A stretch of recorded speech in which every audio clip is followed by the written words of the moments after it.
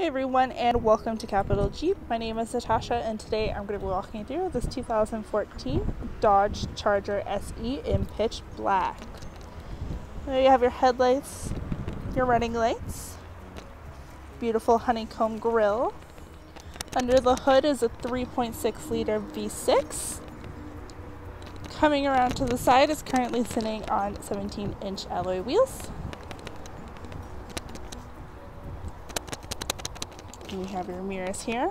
Opening up the door, we have your exterior mirrors, windows locks, some storage, as well as a cup holder, your headlamp adjuster, and then we have this cloth seating.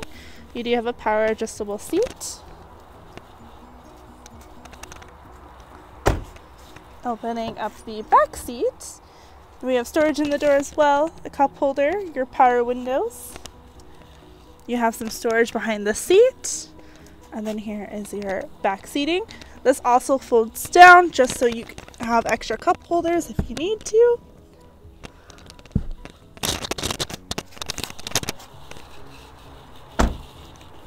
Coming around to the back, this button here is for our trunk. Lots of space. The seats do fold down as well, so if you have something that's a little bit too long, you can fold it down, it won't be a problem.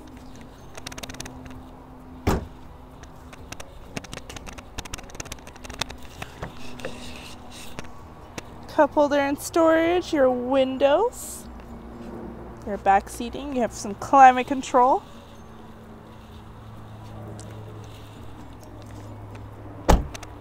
And then opening up the passenger side here. Cup holders, storage, locks, windows, manually adjusted seat, and then the glove compartment here. I'm going to grab the key to show you the rest. So here we have our key, we have our unlock lock, our panic button, and our trunk opener. It is just a push start, so we hold on brakes, start it up.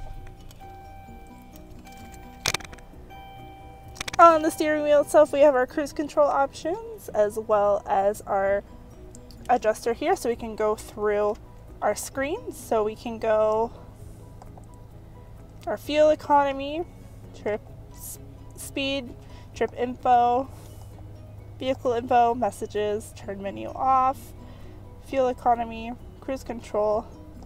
And we'll go back to vehicle speed here. It's currently sitting at 88,763 kilometers. So if you want to make sure that you're fully covered, do speak to your financial advisor about purchasing any extended warranties. And then going through to our display here, so we have our radio options, um, our player, so we have a CD player, which is awesome, climate control, our settings, we can turn the screen off, we can just turn it on by touching it.